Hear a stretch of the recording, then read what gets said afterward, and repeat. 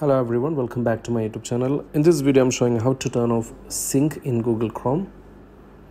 So first of all you will have to open your google chrome account as google chrome uh, browser as you can see here. I already opened the google chrome um, browser here. So to turn off the syncing right now i'm syncing it with my google account. You can see here on the top right corner when you click on the the image or icon on the um, top right corner near to the three three bars you will see that there will be one email and it will be showing sync is on if it's already uh, turned on.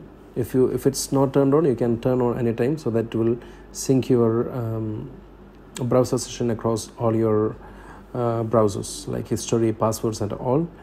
But if you want to turn off your um, syncing in one particular browser so you can do it easily by clicking on uh, sync is on. Like for example you need to come over here and click on sync is on. So that it will take you to another window where you can uh, turn off the syncing.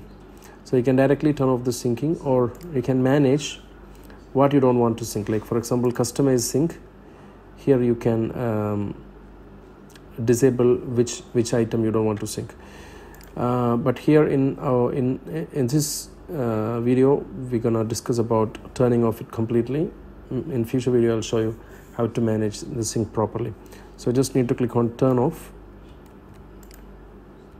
And it will show a message turn off sync and personalization. So this will sign out of your google accounts. Your bookmark history and passwords are more and more will no longer be synced. This is what we need actually. And also when you turn off you can also click clear bookmarks history passwords and more from this device check this option if you don't want to keep it and click on turn off.